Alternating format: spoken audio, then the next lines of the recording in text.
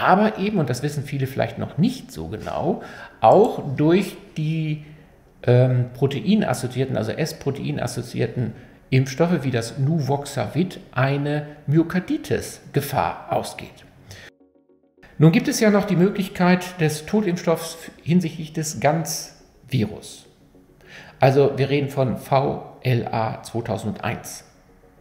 Und dieser Impfstoff scheint nun gar nicht mehr zu kommen. Herzlich willkommen zu einem weiteren Wochenvideo und heute möchte ich Ihnen noch einmal etwas über die virale Myokarditis, also über die Herzmuskelentzündung bedingt durch einen Virusinfekt mitteilen. Dabei geht es darum, was man machen kann, präventiv oder auch wenn man den Infekt schon hat, was es da diesbezüglich hinsichtlich Coenzym Q10 und einem weiteren die Beta-Oxidation hemmenden Medikament für Erkenntnisse gibt. Und in diesem Zusammenhang können wir auch noch mal ganz kurz über das Thema Impfung gegen Corona sprechen. Wenn Sie das interessiert, bleiben Sie dran, gleich geht's los.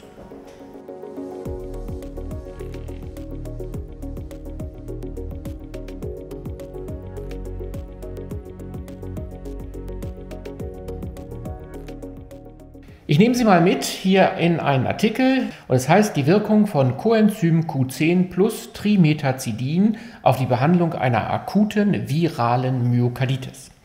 Und man hat eine Kontrollgruppe genommen, das ist die, die das CoQ10 bekommen hat.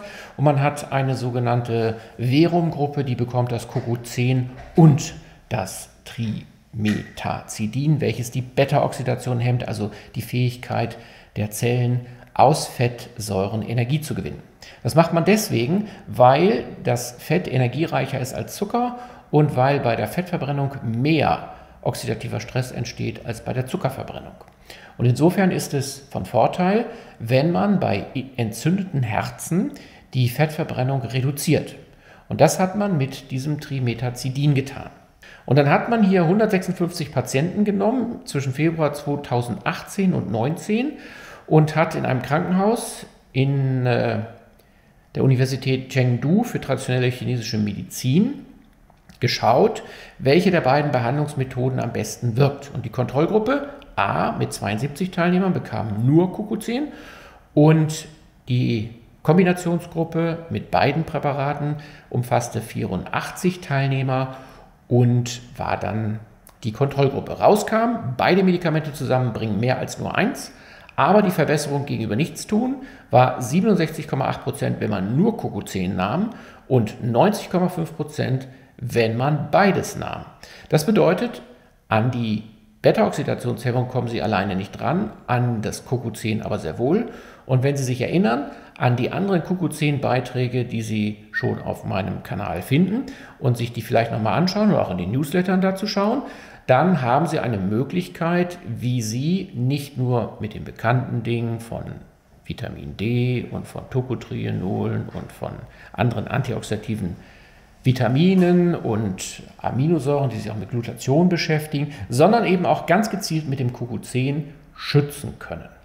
Warum ist es wichtig, in diese Richtung zu gehen? Wir werden noch längere Zeit mit Viren unser Leben lang zu tun haben und wir werden sicherlich auch von Corona begleitet werden. Wir haben neue Subtypen, die gerade aus Portugal zu uns rüberschwappen und sicherlich mit den Urlaubsreisenden das auch ein bisschen schneller schaffen wird, als es alleine geht. Und wir sehen, wir haben deutliche Verdoppelung dieser Unterarten jede Woche, aber wir erhören erfreulicherweise nichts Besonderes Schlimmes davon. Nun ist es ja so, dass wir auch wissen, dass von den Impfstoffen, mRNA-Impfstoffen und Vektorimpfstoffen, aber eben, und das wissen viele vielleicht noch nicht so genau, auch durch die ähm, proteinassoziierten, also S-Protein-assoziierten Impfstoffe wie das Nuvoxavid eine Myokarditis-Gefahr ausgeht. Und ich habe hier mal für Sie geöffnet die äh, Myokarditis durch Nuvoxavid äh, aus der Pharmazeutischen Zeitung vom 8.6.2022. Und da wird also beschrieben, dass die FDA äh, bereits in der Zulassungsstudie, äh, nämlich Phase 3 Studie, an der 46 Probanden teilgenommen haben, sieben Fälle von Myo- und Perikarditis hatte. Und äh, sechs davon nach Impfung und einer nach Placebo-Injektion. Wenn man also jetzt 46.000 durch 6 teilt, kommt man auf ungefähr 7,5 also 7666,66 Periode Teilnehmer. Und das ist eine Belastung, die dem der mRNA-Impfstoffe, je nachdem, welche Studie man gerade nimmt, sehr nahe kommt, denn dort liegt das Ergebnis ja zwischen 5000 und 7000 pro Impfung. Der mögliche Kausalzusammenhang wird also durchaus gesehen. So traten in fünf Fällen innerhalb von zwei Wochen nach der Impfung ähm, bereits diese Myokarditis auf und es ließ sich nur bei einem Patienten dieser sechs eine alternative Ursache ermitteln. Und die anderen vier Komplikationen betrafen wieder mal junge Männer. Also eine Gruppe, die auch bei den mRNA-Vakzinen das höchste Risiko für Impfnebenwirkungen hat. Und es gab eine Post-Marketing-Analyse. Das ist ja das, was es auch bei den anderen Impfstoffen gibt, die aber nicht unbedingt jeder Mann zugänglich oder vom Inhalt her bekannt sind. Und in dieser Post-Marketing-Analyse kamen weitere Myokarditis-Fälle raus, sodass der Autor hier der pharmazeutischen Zeitung der Meinung ist, dass unter Umständen das Risiko für Myokarditis bei der Nuvoxavit-Impfung höher ist als bei den mRNA-Impfstoffen. Und insofern hätten wir hier fast pari-pari. Nun gibt es ja noch die Möglichkeit des Totimpfstoffs hinsichtlich des Ganz-Virus. Also wir reden von VLA 2001. Und dieser Impfstoff scheint nun gar nicht mehr zu kommen, denn wie ich heute Morgen am 13.06.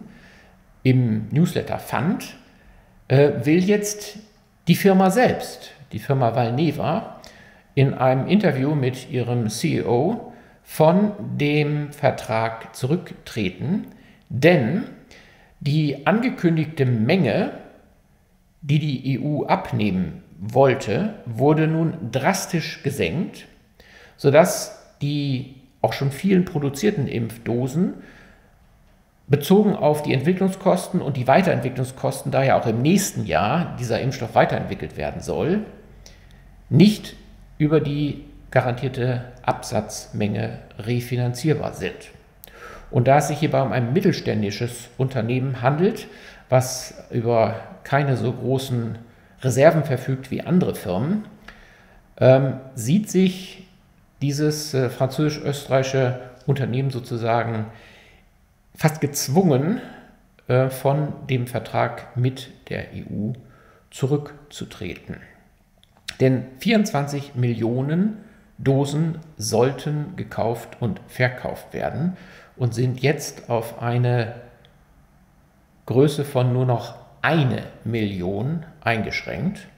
Und das führt dazu, dass wir wahrscheinlich alle, also ich ja sowieso nicht, denn ich bin ja schon über 55 Jahre alt, dafür ist die Zulassung ja noch gar nicht da, aber alle anderen jungen Menschen, die mit dieser Myokarditis-Gefahr konfrontiert werden, wohl nicht die Gelegenheit bekommen, auf diesen Impfstoff zugreifen zu können.